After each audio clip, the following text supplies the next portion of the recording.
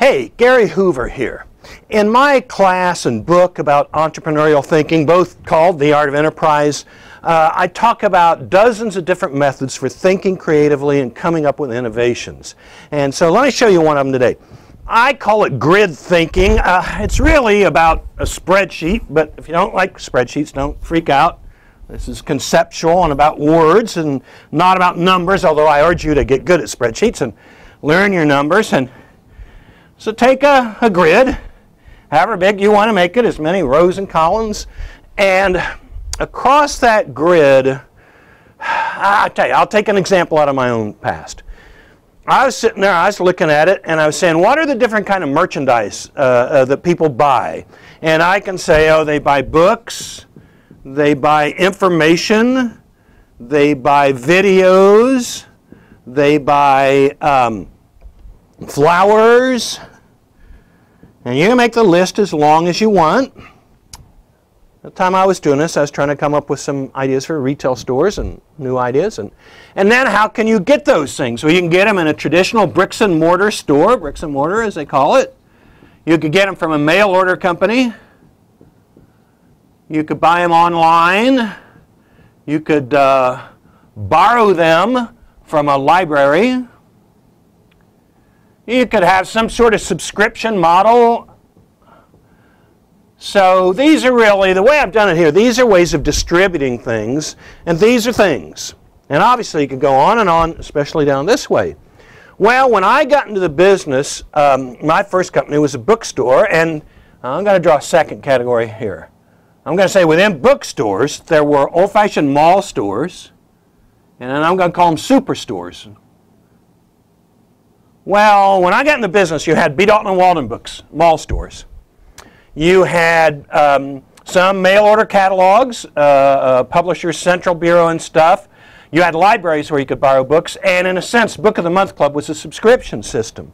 Well, the idea of the superstore had just recently come to the fore when I was doing my research in the 1970s, the rise of Toys R Us. And superstore means a big store in a single category of merchandise, like books or toys, not a general merchandise store like Macy's or Walmart or Sears, but just a specialty category. And in that category, big selection and low prices. That's the short version of the idea. Well, all I did was took the bookstore idea and the demand for books and went here. Later, a company called Amazon filled that box in.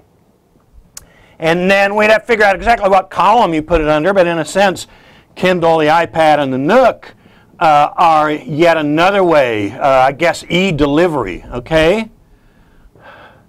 And that's more recently come into being. But the boxes aren't all full because there's more columns out here. We'd have to think about what they might be. Home delivery, you know? Uh, um, uh, inform, um, uh, take videos. Videos you could buy in a mall store, or back then you could rent at a rental place. Well, then Blockbuster came up and became the giant in that. But then Netflix came up with this kind of a subscription, a li- well, uh, uh, uh, really a, um, a library model. Sorry, I got it in the wrong box. So really a library model for Netflix, and of course now they're becoming streamable and downloadable. If I'd add a line for software, man, it went all the way through little software stores in the mall and then big stores like CompUSA and everything, and then online and now downloadable. I guess, I guess that goes over here with e-delivery, right? Uh, flowers, you could go to a florist shop, but then we got 1-800-Flowers, which is mail or telephone order, and of course they migrated to online a way of uh, uh, trying some other columns, business information, information about big companies.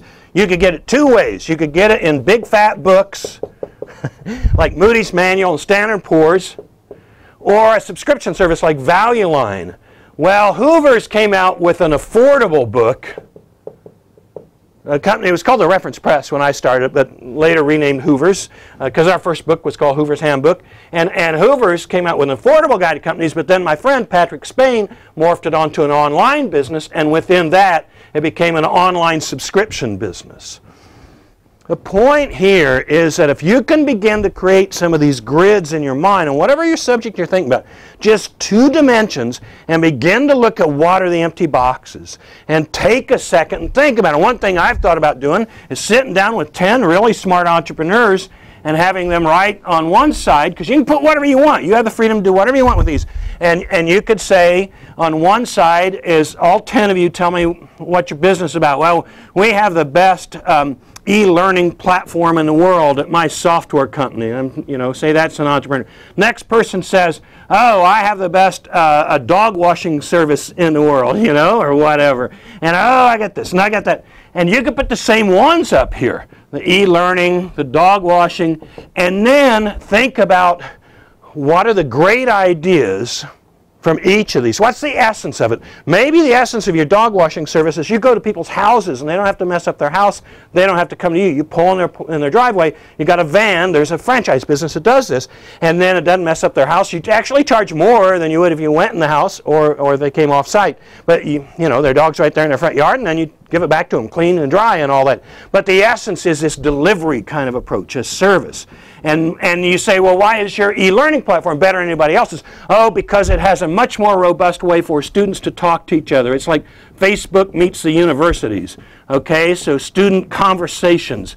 Well, how might that conversation apply to the dog washing business? How might this delivery system apply to e-learning? But you can see how it compounds. If I had 10 people, uh, 10 sites, I got 100 boxes.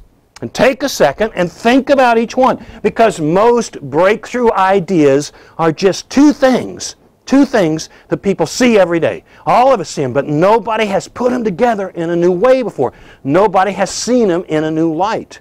So that's just one of many ways to really trigger entrepreneurial thinking and to come up with innovative solutions to society's challenges. So, uh, Gary Hoover, good to see you again, and I'll see you later. Bye bye.